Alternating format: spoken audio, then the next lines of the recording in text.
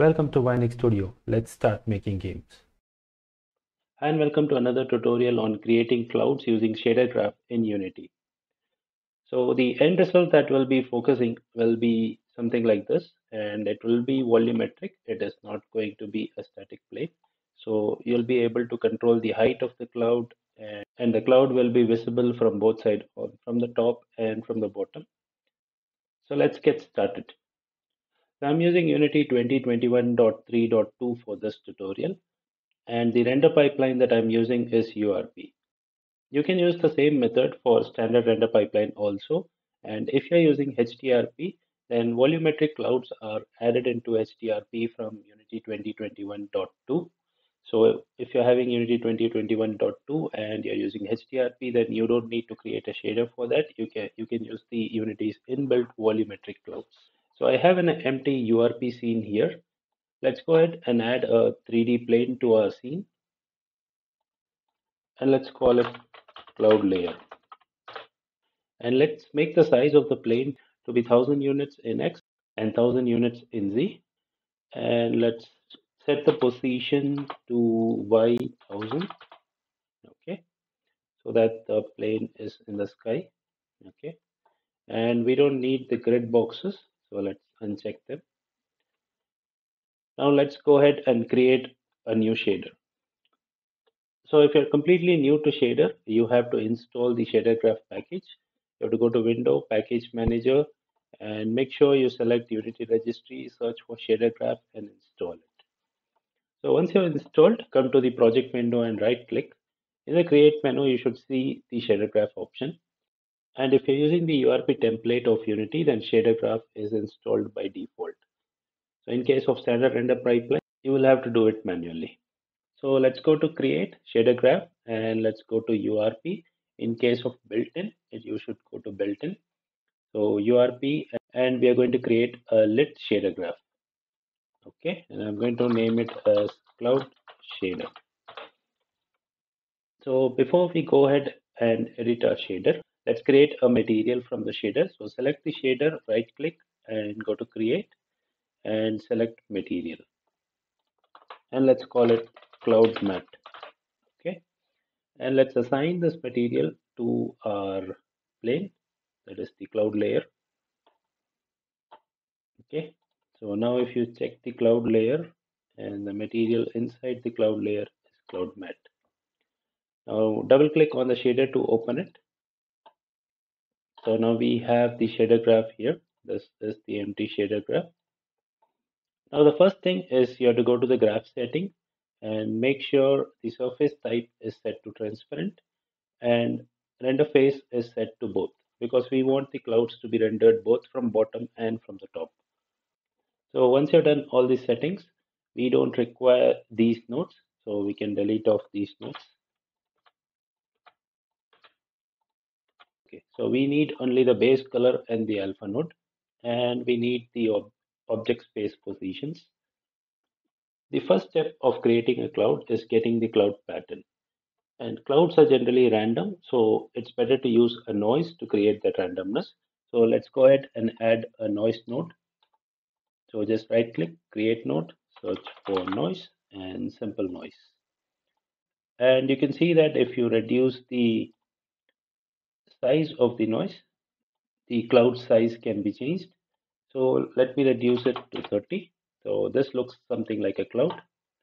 So I can directly connect it to the base color. So before that we are going to add a property. It will be of type float and let's call it cloud size. Okay. And let's set the default value to 30 let's drag and drop to our editor and connect it to the scale of simple noise. So now we have a property called cloud size that you can adjust from the material to control the size of the noise. Now we also need a property to control the density of the cloud. So what we're going to do is we are going to use a power node. So let's go ahead and create another node called power node. Okay. And the output of the noise will go to the power node and let's drag it here. So we'll be creating another property which is a float and we'll call it cloud density. Okay and let's keep it here. Let's set the cloud density default value to 2 okay so as you can see here this is a simple noise and after a power of 2 this is the output. That means we have more empty space here so by changing the value you can control the density of white and black inside this. Let's go ahead and connect the cloud density to the B input. Just take the output of the power and connect it to the base color. Now let's save the asset. And as you can see on the left side little clouds have started to appear. So now if you go to the inspector select the material and play around with the density and you can see that the cloud pattern is changing you can also increase the size of the cloud so let's set them back to the default values now the next thing is to add color and transparency to the shader so you can just multiply the output of the power to a color and then connect it to the base color. That way we'll be able to add color to the cloud. But if we use a lerp function, we'll be able to get a gradient effect between black and white areas of the noise. So let's go ahead and use a lerp node.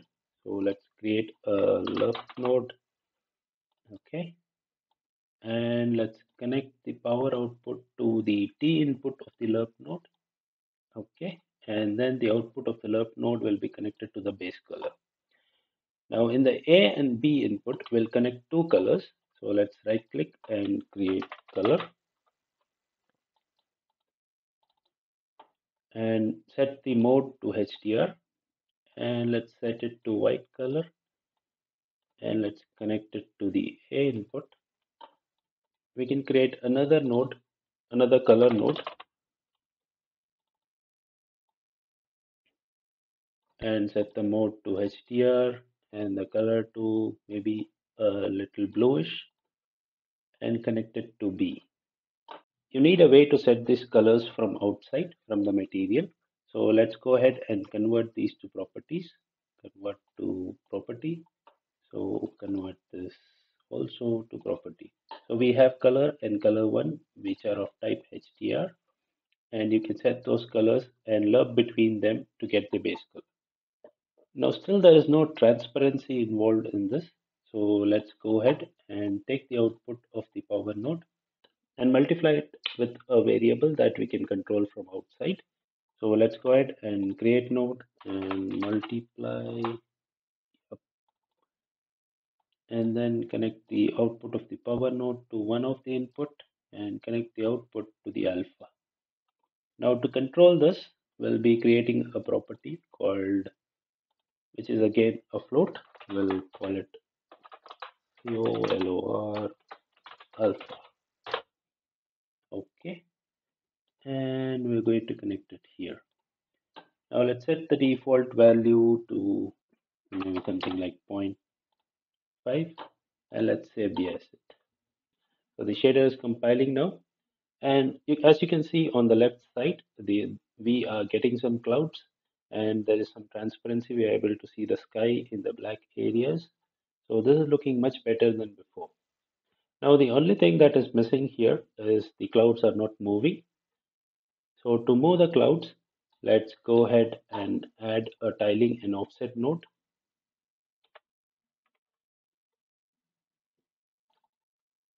So you can adjust the offset value to make the cloud move but we want the movement to be continuous. So let's use a time node. And we also need a way to control this. So let's create a property which will be vector2 because we need to control the moment in both x and z axis. And let's call it cloud speed. Okay. So you have a vector2 and a time node. You need a multiply node and then multiply the time and the vector 2 and take the output and give it to the offset. Now you can take this offset and connect it to the UV of simple noise.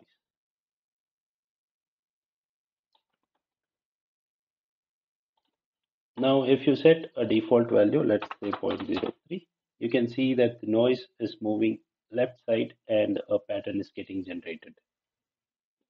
So now let's save the asset and preview on the left side. So you can see that we have some nice looking cloud there. And in the inspector, you can adjust the material properties to have a bigger size cloud. So you can just say like 10. So the clouds are bigger now. And if you increase the value, say 120, so we have smaller clouds. And you can also work with the density of the clouds by increasing the cloud density, say 3. So if you increase the, this value, basically, if you increase the power value, the number of clouds will decrease. So let's go and say 0.5, so it's completely cloudy. And you can also play around with the alpha value to make it more brighter. So now the clouds are looking good, but if you go near to the cloud, you can see it is just a flat surface. And if you want to fly through the clouds, that is not possible in this because you need some volume so that you can go through the clouds. Now to achieve that, to have a plane that is subdivided into smaller groups. But the Unity's default plane is not subdivided. There are a few ways to get a subdivided plane. One is using some 3D modeling tool that you can use Blender, you can use Maya, and you can create a subdivided plane and import them to Unity. And then you can assign this material to it. Now the other option is using a package inside Unity and it's called Pro Builder. So you can just go to Window Package Manager and make sure Unity registry is selected and search for Pro Builder. Yeah, Pro Builder and click on install.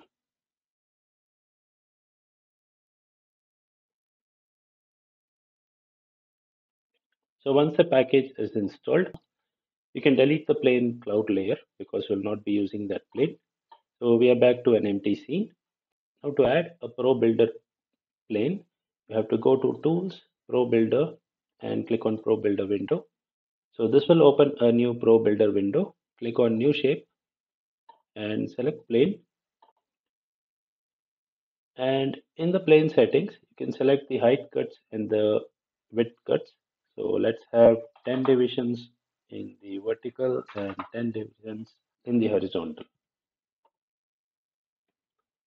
So once you're done that, you'll see a small plane symbol on your mouse cursor. Just hold down the shift key and click on the scene. So a plane is added. It's just not visible because it's very small. So let's select the plane. Let's go to inspector and set the scale to 1000 in X and 1000 in Y.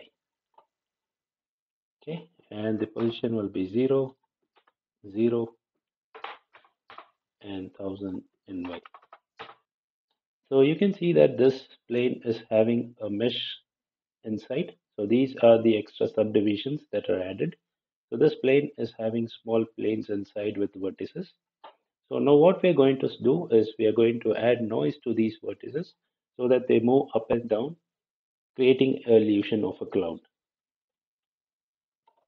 So let's select the plane. You can play around with the value here. You will have a Pro Builder shape script here. So if you if you want more horizontal or more vertical divisions, you can change the value here.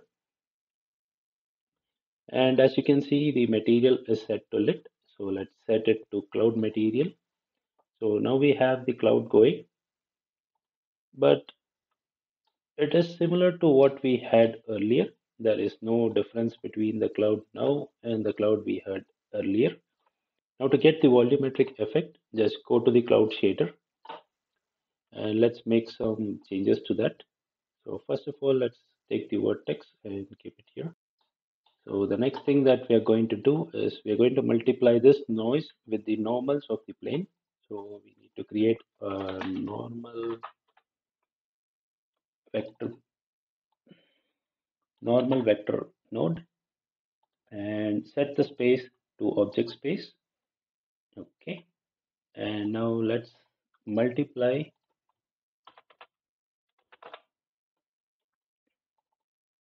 that with the power node. So the output of the power node and the normal will be multiplied. Okay.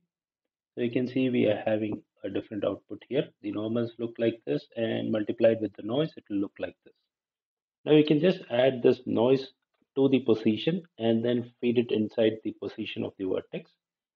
But we also need a way to control this. So let's create another multiply node. And add this here, add the output here.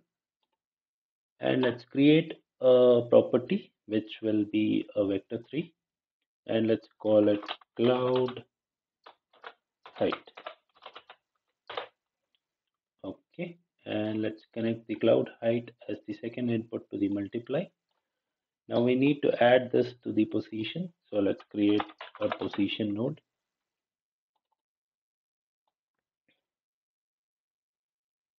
Okay and I think we can place the vertex here and let's create a add node. So we're basically adding the noise to the already existing position of, of the vertices.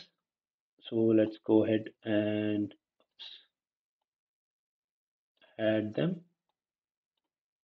Sorry. But also the position will be set to object and the output will be connected here.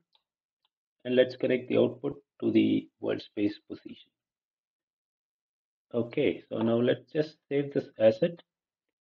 So the shader is compiled and as you can see there's no changes in the cloud. It is still the same. It is still that flat surface. That's because we haven't set the cloud height. It is still at zero. So let's set it to 10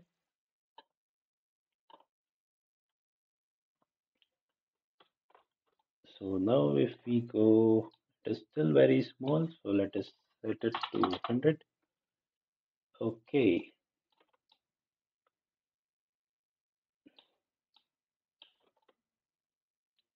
So now you can see there are some waves forming in our cloud. So depending on the height you set, the clouds will be moving and you can also adjust the cloud speed here. So in order to make it very clear, let's just reduce the, increase the density. Okay. So now we have a volumetric cloud so depending on your requirement, you can play around with the cloud size, the density, the alpha value, the cloud speed, and the cloud height. So now you have a volumetric cloud in Unity. So you can use this technique in both universal render pipeline and, and standard render pipeline. So that's it for this tutorial. If you have any other questions, you can leave them in the comment box below. Thank you and see you again. Thanks for watching. Don't forget to like, subscribe and share.